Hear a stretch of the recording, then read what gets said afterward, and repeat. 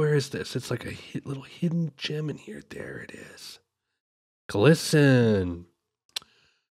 Wait, did we do glistening ganache? We may have done uh, something from this.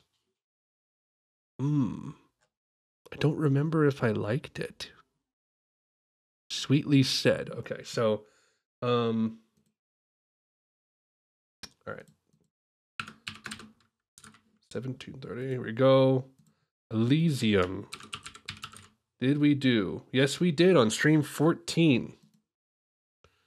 Um we did we did uh, listening Ganache.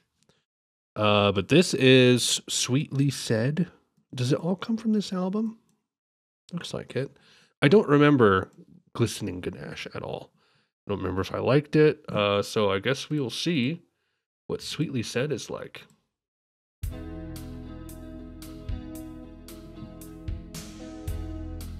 Mm.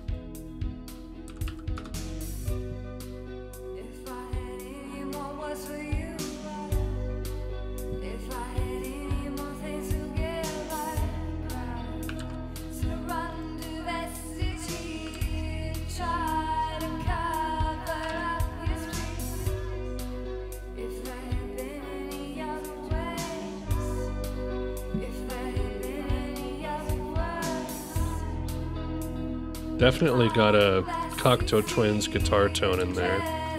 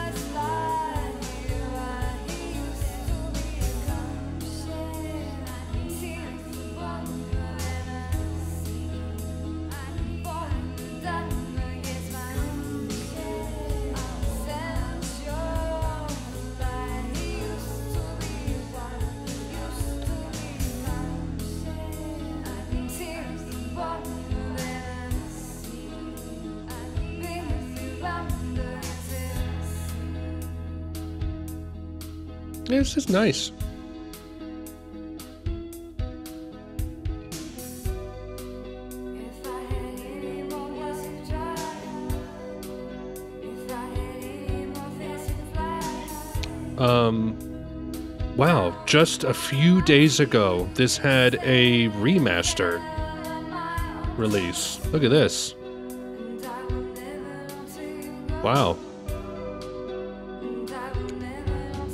Is it a bit longer?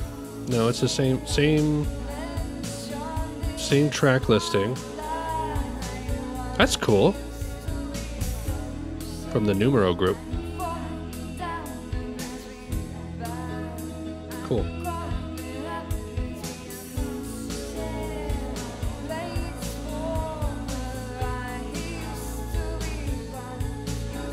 Vocals are really uh, peculiar.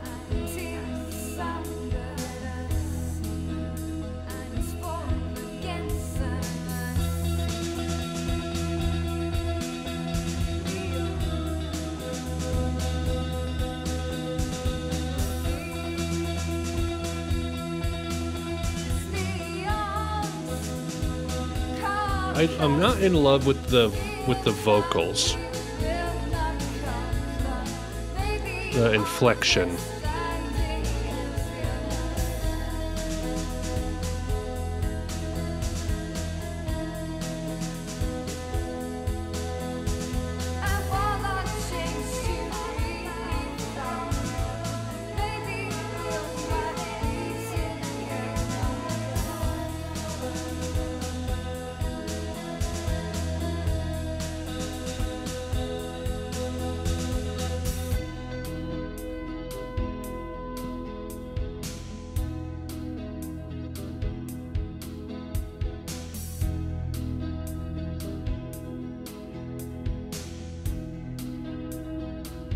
Anyone here remember the area song from last year?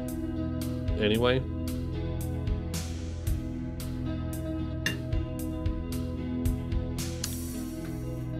Yeah, it said that there was a related artist from 97 to 2003.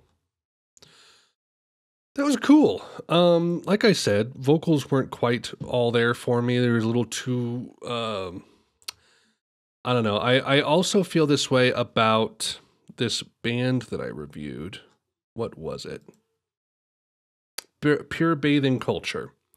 Um, I do like this album quite a bit, in spite of uh like a very sophistipoppy um type of like uh I wouldn't say sassy, but very um inflected vocals, I guess you could say, that come with sophistopop, and it just kind of clashed with the dream pop.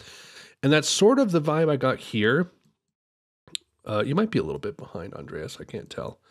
Um, that's kind of the vibe I got here, but those guitar tones, man, you can just eat those up. And this looks like the head or head over heels cover too. I don't know, but that was cool. That was cool. Thank you for that.